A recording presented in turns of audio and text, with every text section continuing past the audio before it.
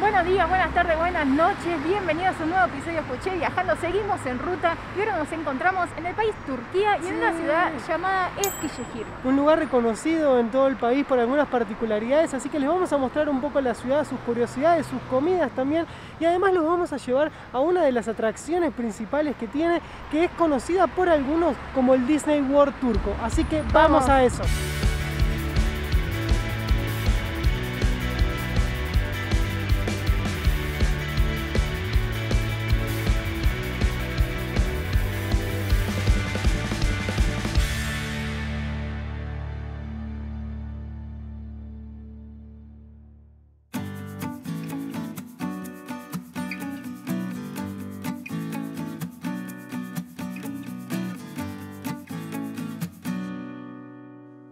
Parecer nos dijeron que es normal que haya estos cambios de clima, pero quizás no tantos en el mismo día, porque estos días estuvo saliendo el sol, lloviendo, mucho viento, después salió el sol de vuelta, después nevó, después salió el sol, después llovió.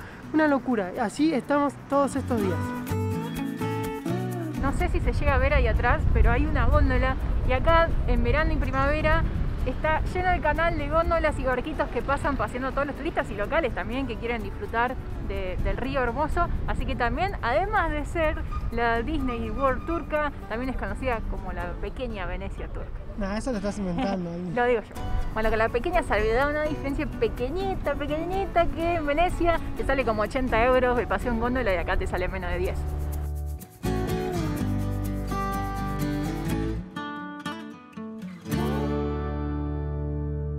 La ciudad está invadida de un montón de estatuas que como que homenajean a diferentes personajes de la ciudad, ¿no? Mujeres charlando, un pescador con su perro, músicos callejeros, pero hay una que llama muchísimo la atención que es la de un burro comiendo semillas a orillas del canal. Esta estatua fue puesta por el gobernador de la ciudad como en una especie de burla a la juventud universitaria que supuestamente se juntaba acá eh, a orillas del canal y además comían eh, pipas o semillas y las cáscaras las iban tirando al río. Al río ir llenándose de estas cáscaras y llenarse de mugre, decidieron prohibir que la gente se pueda sentar acá en el canal y como digo, como una especie de burla pusieron una estatua de un burro comiendo semillas a orillas del canal. ¿Qué opinan ustedes de que el gobernador de la ciudad use plata del municipio para poner una estatua que se burre lo, que se burre, que se burre. que se burle de los mismos ciudadanos. No sé, a mí me parece medio raro, no sé qué opinan ustedes en los comentarios.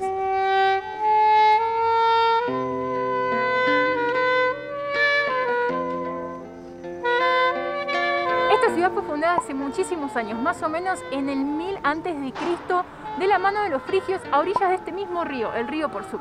Nos acabamos de encontrar con un restaurante que se llama Tango, que tiene en su cabecera una guitarra y un saxo, así que es como una señal de que teníamos que venir acá. Lástima que por el COVID el restaurante está cerrado.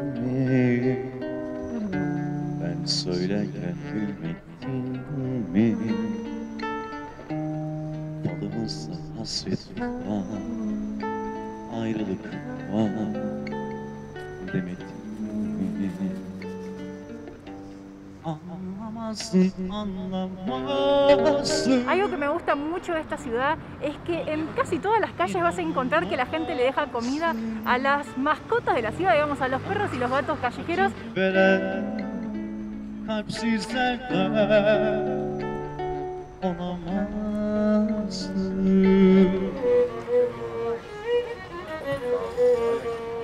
Me gusta mucho, estamos descubriendo que hay muchísimos artistas, hay perros muy grandotes, gordotes, la ciudad tiene mucha vida, es muy linda, por más que hace cero grados, hay mucha gente en la calle.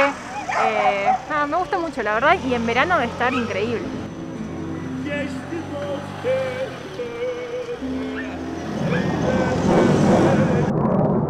En Esquillejir todo el tiempo están pasando aviones porque es una base, eh, hay una base aérea militar y es reconocida en el país, eso justamente. Así que todo el tiempo y de hecho hay un parque público en la ciudad donde se encuentran varios de los modelos y aviones que ya no se utilizan hoy en día, pero están ahí alojados, es de acceso gratuito y les vamos a mostrar algunos ahora.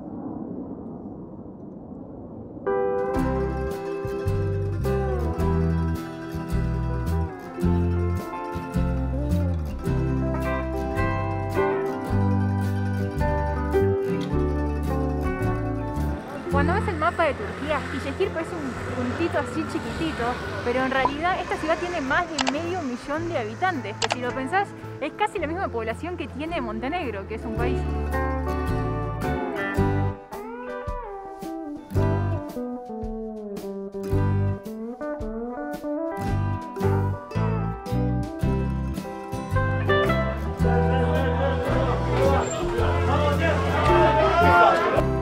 Parame la música y disfrutemos de los sonidos reales de los mercados de Turquía.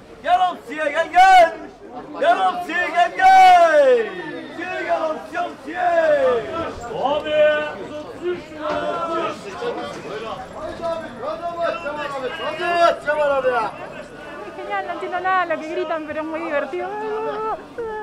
No sé si están peleando, no, están vendiendo pescado nomás.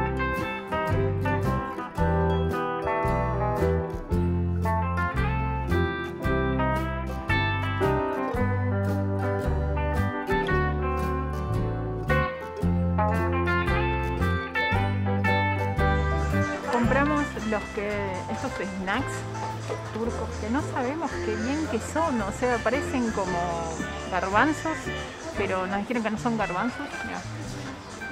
Y ya les diremos qué onda, qué, qué saben. Están calentitos. Bueno, llegó el momento, ¿eh? Ahí va.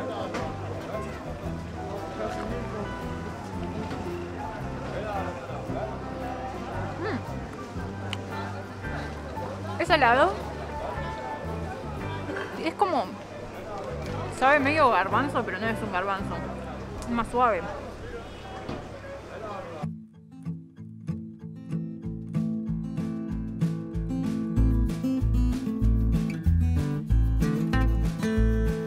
Una de las cosas que nos recomendaron comer en Turquía es el cosleme y acá caminando por la calle ayer vimos que había en la vidriera una señora haciéndolos ahí caseritos estirándolos y nos tentó mucho, así que hoy vinimos al local a probarlos y tienen mucha pinta. Vamos a ver qué onda.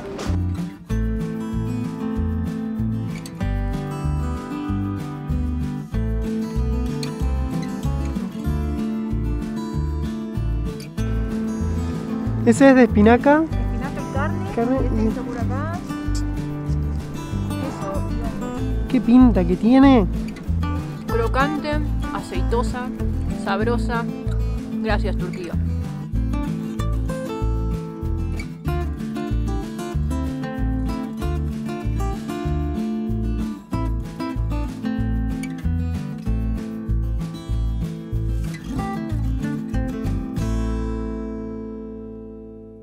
Algunos geógrafos describían a Eskişehir como una de las ciudades más lindas de Asia Menor, pero lamentablemente la mayor parte de la ciudad quedó destruida durante las guerras de independencia turca, o sea, después de la Primera Guerra Mundial, durante la disolución del Imperio Otomano.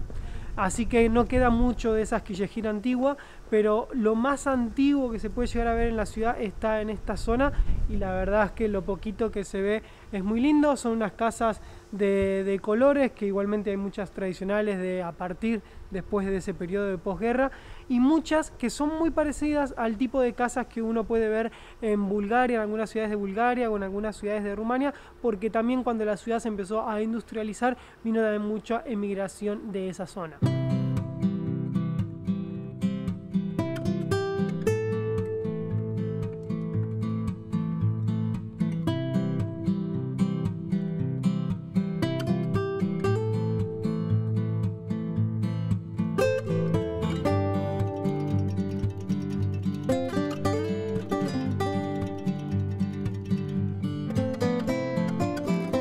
La ciudad tiene una mixtura de etnias genial, pero desde hace siglos. O sea, incluso hoy se puede encontrar una gran parte de la población que desciende de los tártaros, o sea, de ese pueblo túrquico que uno normalmente asocia más a la zona de Mongolia, por ejemplo.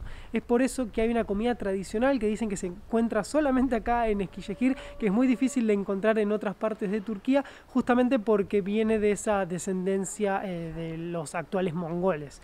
Vamos a ver si la encontramos, pero antes vamos a ir a una de las atracciones principales de la ciudad. Hay viento, hay sol, hay lluvia, no sé, va cambiando todo el tiempo, pero estamos yendo al Disney World turco. Sí, sí, sí, sí, como escuchar el Disney World turco, creando o no, pero este lugar es famosísimo por un castillo, así que ahí vamos.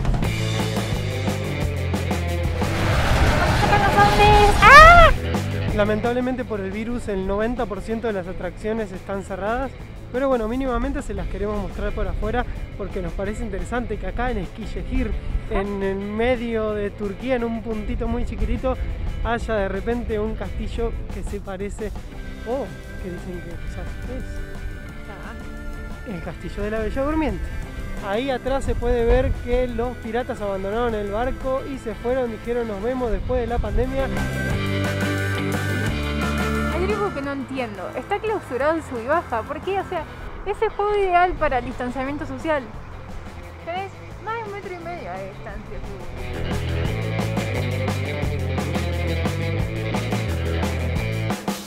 Sí, este es el momento que estabas esperando ver finalmente el Disney turco. Esto es increíble. Poneme la música de Disney. Y ahora. ¡Sí!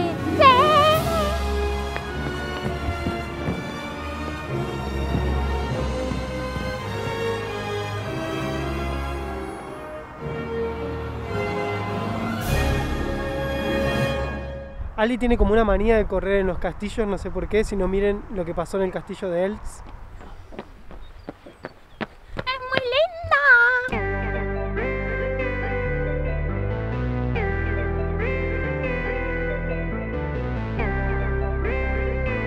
Y si llegamos a la atracción principal de este parque de arte científico y cultural que tiene 50 metros de alto, tiene 26 torres y bueno, obviamente está cerrado por las restricciones del COVID, pero en tiempos normales hay adentro, hay animaciones 3D, hay shows de luces y un montón de atracciones, sobre todo para los más pequeñitos de la familia.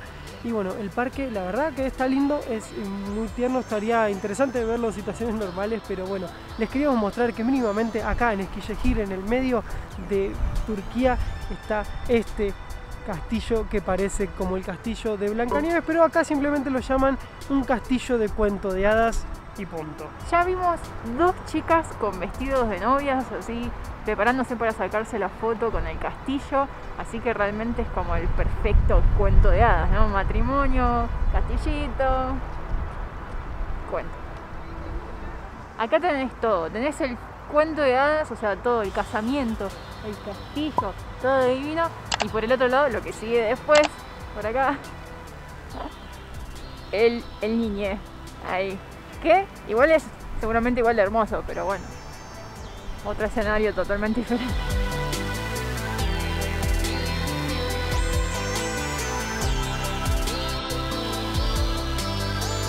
Si piensan que es muy grande, este amigo que tenemos acá atrás, tienen que ver los perros que hay en Turquía, el tamaño.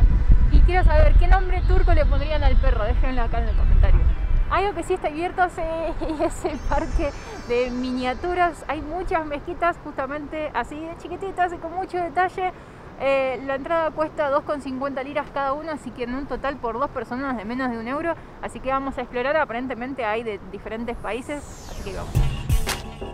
Yo me quejaba en la escuela cuando tenía que hacer esas maquetas para ciencias naturales o sociales con una plastilina así toda mocha que se descoloreaba horrible y acá hicieron una réplica del Taj Mahal, tremendo.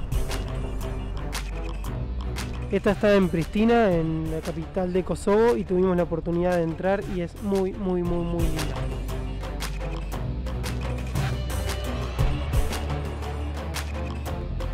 Si siguen este canal tienen que saber qué es esto, y si no saben, les cuento, es el puente de Mostar en Bosnia y Herzegovina, y les dejamos el video ahí recomendado de una ciudad que es hermosísima.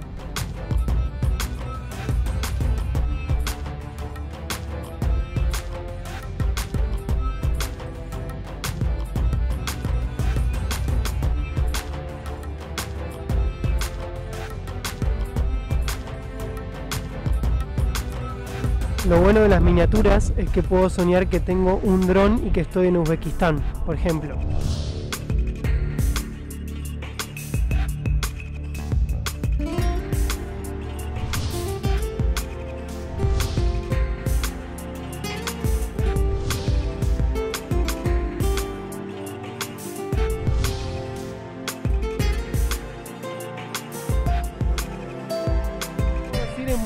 De una comida típica que dicen que solamente está acá en Esquillejir que es muy parecida a una comida típica que tenemos en Latinoamérica, así que esperemos que sea igual de rica. Vamos ahí. Para terminar el video, como dijimos, llegamos a este restaurante que nos dijeron que es uno de los principales de la ciudad, o sea, de los más viejos, antiguos de la ciudad. Y tienen esta comida que es original de acá, que solamente se consigue, acá en Turquía solamente se consigue en Eskişehir, que son una especie como de tortas fritas o empanadas rellenas y fritas, rellenas de carne, que tienen un olor que está tremendo. Y se acompaña obviamente con ayran, que es como un- una especie de yogur, que ya lo hemos probado en, en Bosnia y Herzegovina. Y con unos, como unos pimientos picantes. Y acá estamos con Ico, un amigo de la ciudad. Hi. It's kind of spicy before you eat it, I should tell you. Okay. And this you say that it's quite oily, Yeah, yeah. okay? As you can see, it's quite oily. But it's amazing. Yeah. ¿Qué onda vos? Está buenísimo. Tenemos esta empanada. Tiene relle- relleno como una empanada de, de carne, pero solamente es como. It's just meat and onions, right? O- y la porción es de 5, así que vamos a ver si las comemos todas, porque tenemos 5 y 5. Are good? How do you say delicious in Spanish? Delicioso? Riquísimo. No, delicioso. también. Delicioso, yeah. Do you speak Turkish, English, French French? and a little bit of Italian. Bugün Kırım çiğ börek evinde e, Arjantinli misafirlerimizi ağırlıyoruz. Onlara çiğ börek denettirdik. Gayet hoşlarına gitti. Ee, umarım arkadaşlarınıza tavsiye edersiniz. Onları da gelir, onları da burada ağırlarız. Uh, I just said we are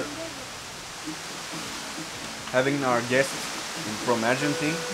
They are eating the çiğ and they liking it. I hope in the future we will meet again and eat another thing in another country.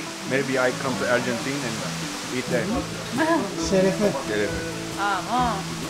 Gracias por acompañarnos hasta el final del video. Espero que lo hayan disfrutado tanto como nosotros. Nosotros La comida estamos- estaba increíble, Estaba estábamos buenísima. llenísimos Sí. y esperemos que les haya gustado Esquillejir y el video también y si es así no se olviden de darle el like ahí abajo. Y de suscribirse si todavía no lo hicieron o dejarnos cualquier comentario acá abajo en la casilla que siempre los leemos y los respondemos. Así que bueno, nos vemos en el siguiente video, lo dejamos con estos recomendados y nos estamos viendo y escuchando en el próximo video.